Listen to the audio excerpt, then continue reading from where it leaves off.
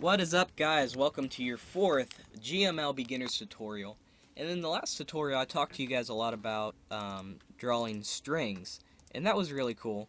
And I showed you guys how to draw out a string and how to get the X and Y position for it. Well in this tutorial I'm going to be showing you how to make what's called a string variable. Because let's say you don't want to write all this out here, but you want to put it in a variable. So that you just put in the variable name and it would type out a string for you. Well I'm going to show you how to do that.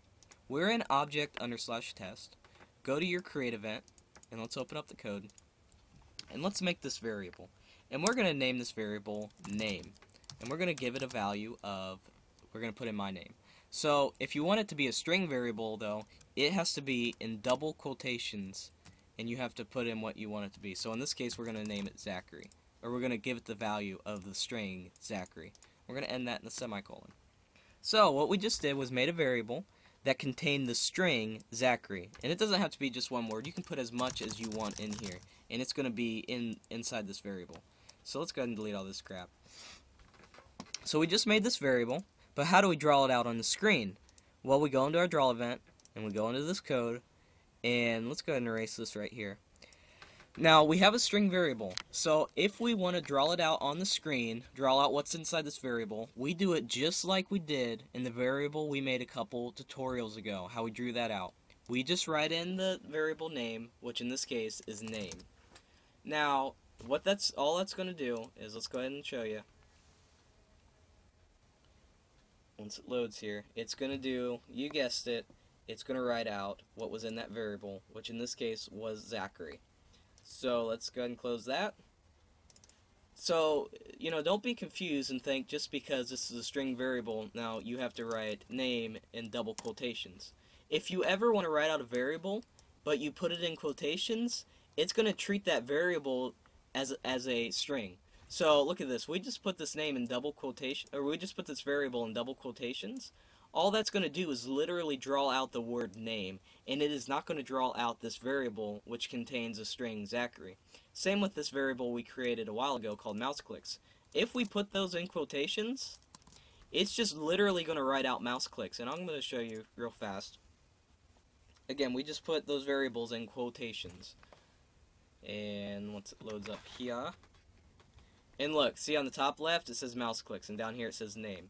Why? Because we told it we wanted it to be a string and we told it we didn't tell it that we wanted it to write out the variable. If we wanted it to write out the variable we would not put quotations at all. Because again it just treated as a string. So that's cool. That's and that's something to keep in mind. So another thing I want to show you really quick is a cool little piece of code that you can use for some of your games. So we are going to delete this string that we wrote here and let's say you have a game and you allow your players to name their own characters. Well, you would do it this way. Name equals get under slash string, and then you put in your first parenthesis, and then you put two double quotations, and inside of that you would write, what is your name? Question mark. Then you put a comma, and put double quotations again, and then end it in the last parenthesis, and then end that in a semicolon. What this get string is going to do is ask for your name, and then in these empty blank double quotations is where you will put in the value. And then what all that's going to do is store it in this variable called name. After that, it's going to go into the draw event, and it's going to draw out that variable called name. And let me show you this in action. My computer's slowing down because it's really hot in my house right now. Alright, so look, as soon as the game starts, it wants to know what is your name. Well, I'm going to make my name Josh. Click OK. And then you can see it drew out that variable Josh. Or it drew out the variable name, but it drew out the value that was within the variable. Because with that code, it, it, it, um, it, um, asked for your name and I, I lost my train of thought there.